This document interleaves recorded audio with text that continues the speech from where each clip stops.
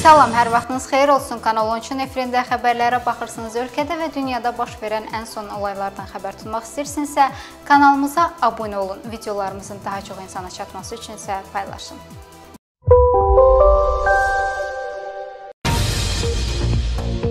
Bu gün Bakı Apellyasiya Məhkəməsinin inzibati binasında Ermənistan vətəndaşlarından ibarət terrorçu silahlı birləşmənin tərkibində döyüşən 13 nəfərin cinayət işi üzrə məhkəmə iclası davam etdirilib. Bakı Ağır Cinayətlər Məhkəməsinin hakimi Faiq Qəniyevin sədrliyi ilə keçirilən prosesdə təqsirləndirilən Aramyan ifadə verib. O deyib ki, 2020-ci il noyabr ayının 27-sində hərbi komissarlığa çağırılmayıb birbaşa hərbi hissəyə gətirilib. Stat: Bizə silah və zirehli geyim verib dağa apardılar. Azərbaycan hərbçiləri ilə rastlaşdıq. Bizi saxladılar və silahlarımızı aldılar.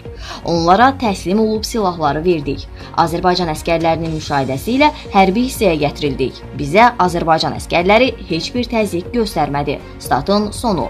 Prokurorun suallarını cavablandıran Aramyan qeyd edib ki, o Hadrut ərazisinə gəlməkdən imtina edə bilməyib. Hadrutda silahlı dəstələrin hansının hansı ərazidə olmasını Kazaryan təyin edirdi. O qərar verəndən sonra bizim postları təyin edirdilər. Mən 2013-2015-ci illərdə Qubadlı rayonundakı hərbi hissədə xidmət etmişəm. Bilirdim ki, ora Azərbaycan ərazisidir deyə o əlavə edib. Hakim bildirib ki, təqsirləndirilən şəxsin ibtidai istintaqa verdiyi ifadə ilə məhkəməyə verdiyi ifadə arasında bəzi ziddiyyət var. Ona görə də prosesdə onun ibtidai istintaqa ifadəsi elan edilib. Aramyan istintaqda dindirilərkən söyləyib ki, Arsen Kazaryanın tapşırığı ilə onları Xocavəndə gətirib Hadrutda yerləşdiriblər. Orada deyilib ki, Azərbaycan əskərləri bu əraziyə yaxınlaşarsa silahlı müqavimət göstərin. Daha sonra məhkəmədə Manukyan dindirilib. O ifadəsində özünü qismən təqsirli bildiyini deyib. Prokurorun suallarını cavablandırarkən təqsirləndirilən şəxs qeyd edib ki, o 2015-2017-ci illərdə Tərtər rayonunun Təpəkənd kəndində hərbi xidmətdə olub. Hakim söyləyib ki, təqsirləndirilən şəxs istintaqda onlara Kazaryanla yanaşı Artur Muradyan rəhbərlik edərək tapşırıqlar verdiyini deyib. Həmçinin o istintaq ifadəsində qeyd edib ki, Xocavənddə xidmət etməkdə məqsədi həmin ərazilərə Azərbaycan hərbçilərinin daxil olmasına maneçilik törətmək olub. Növbəti proses iyulun 5-nə təyin edilib. İşğaldan azad olunmuş ərazilərin bərpasının planlı və sistemli təşkili üçün komitə tərəfindən Qarabağ regionunun şəhərsalma konsepsiyasının və ərazi planlaşdırma sənədlərinin hazırlanması üzrə işlər sürətlə və əlaqəli şəkildə davam etdirilir. Bu məqsədlə bir sıra yerli və nüfuzlu beynəlxalq şirkətlər cəlb edilib. Bunu şəhərsalma məsələləri üzrə işçi qrupunun bu gün keçirilən geniş tərkibli iclasında Dövlət Şəhərsalma və Arxitektura Komitəsinin sədri Anar Quliyev deyib. Komitə sədri bildirib ki, ötən müddət ərzində regionun ümumi planının hazırlanması çərçivəsində şəhərlərin, bir çox kənd və qəsəbələrin sərhədləri dəqiqləşdirilib. Müvafiq ərazi planlaşdırma sənədlərinin işlənməsinə başlanılıb.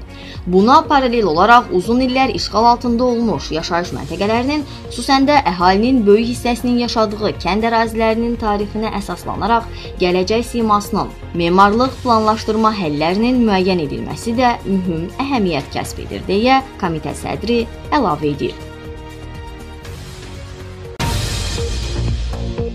Rüşvət aldığı iddia edilən yol polisi əməkdaşı ilə bağlı araşdırma başa çatıb. Bu barədə Baş Dövlət Yol Polisi İdarəsinin İctimai Qurumlarla Əlaqə şöbəsinin rəisi polis polkovnik leytenantı Namidan Priyev bildirib. O deyib ki, yol polisi əməkdaşı cəzalandırılıb. Həmin əməkdaşın rüşvət alması ilə bağlı iddialar təsdiqlənməyib, lakin o xidməti vəzifəsini yerinə yetirən zaman sürücü ilə lüzumsuz danışıqlara və yersiz hərəkətlərə yol verdiyinə görə intizam qaydasında cəzalandırılıb. Qeyd edək ki, sosial şəbəkələrdə Abşeron rayonunun Novxanı qəsəbəsi ərazisində yol polis əməkdaşının qaydaları pozan avtomobil sürücüsünü saxlayaraq ondan rüşvət aldığı iddia edilmişdi.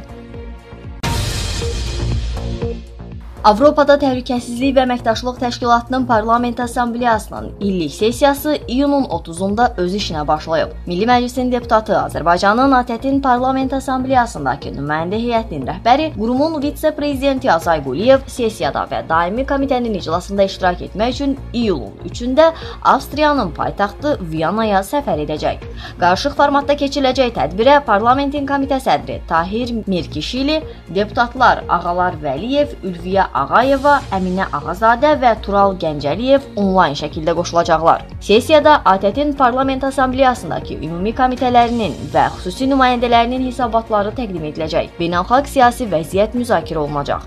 Təşkilatın növbəti dövr üçün büdcəsi və fəaliyyətlər planı təsdiq ediləcək. Tədbirdə qurumun prezidenti, vitse-prezidentlər, ümumi komitənin rəsmiləri seçiləcək. Sessiya çərçivəsində qurumun siyasi məsələlər və təhlükəsizlik, iqtisadi məsələlər, elm, texnologiya və ətraf mühit, demokratiya, insan hüquqları və humanitar məsələlər üzrə ümumi komitələrinin onlayn iclasları keçiriləcək. Deputatlarımız müzakirəyə çıxarılan məsələlərlə bağlı ölkəmizin mövqeyi baxımından fikirlərini açıqlayacaq, qeyd və təkliflərini bildirəcəklər.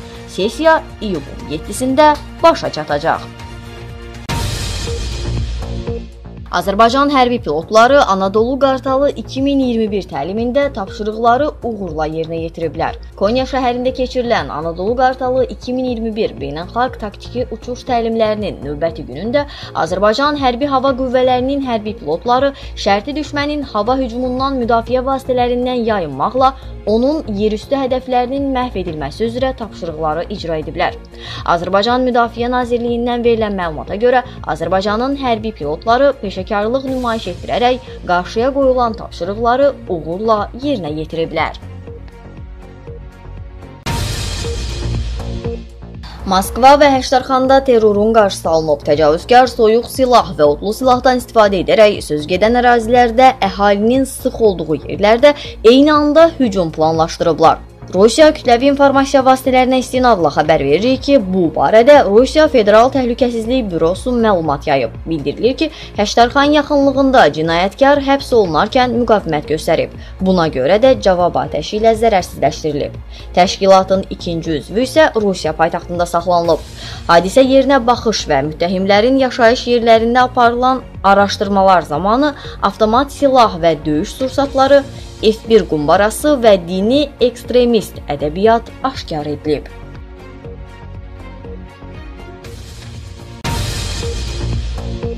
Koronavirusun delta variantının Cənubi Qafqaz regionunda yayılması ehtimalı yüksəkdir. Bunu Ümumdünya Səhiyyə Təşkilatının Avropa Bürosunun fövqəladə vəziyyətlər üzrə eksperti Katrin Smolwood bildirib. Ekspert delta ştammının Avropada və Rusiyada digər variantları sürətlə sıxışdırdığını, Cənubi Qafqaz və Orta Asiya regionlarında da bənzər halların gözlənilən olduğunu diqqətə çatdırıb. Azərbaycanın indiyədək koronavirusa yoluxma sayını azaltmaq istiqamətində çevik tədbirlər tədbirlər həyata keçirdiyini qeyd edən ekspert delta ştammının da yayıldığını nəzərə almaqla ölkədə peyvəndlənmə işlərinin davam etdirilməsinin vacibliyini vurğulayıb. Ekologiya və Təbii Sərvətlər Nazirliyinin Milli Hidrometeorologiya Departamentindən verilən məlumata görə Bakı və Abşeron yarımadasında iyulun 2-sində hava yağmursuz keçəcək. Mülayim cənub-qərb küləyi əsəcək. Havanın temperaturu Abşeron yarımadasında gecə 18-21, gündüz 25-30, Bakıda gecə 18-20, gündüz 27-29 dərəcə isti təşkil edəcək. Atmosfer təzyiqi 764 mm civə sütunundan 761 mm civə sütununa enəcək edəcək. Nisbi rütubət gecə 65-75, gündüz 40-45% olacaq. Abşeronun şimal çimərliklərində mülayim cənub-qərb küləyi əsəcək. Dəniz suyunun temperaturu 22-23 dərəcə isti təşkil edəcək. Cənub çimərliklərində mülayim cənub-qərb küləyi əsəcək. Dəniz suyunun temperaturu 23-24 dərəcə isti təşkil edəcək. İyulun 2-sində Azərbaycanın rayonlarında hava əsasən yağmursuz keçəcək, lakin gecə və səhər bəzi dağlıq ərazilərdə qısa müddətli yağış yağacağı ehtimalı ehtimalı var. Cənub küləyi arabir güclənəcək. Havanın temperaturu gecə 16-21, gündüz 30-35, dağlarda gecə 7-12, gündüz 16-21 dərəcə isti təşkil edəcək. Bax belə bu günlük və bu saatlıq bizdən bu qədər. Görüşmək ümidi ilə hələlik.